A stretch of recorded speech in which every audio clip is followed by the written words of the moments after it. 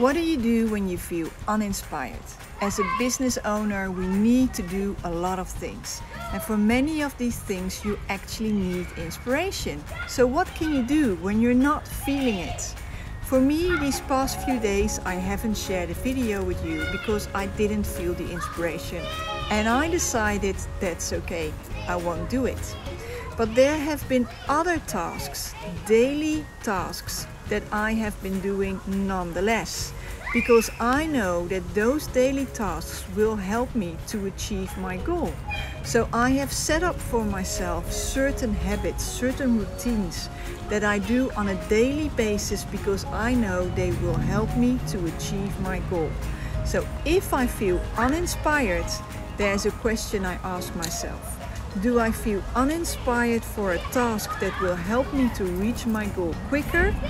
Then I will do it nonetheless.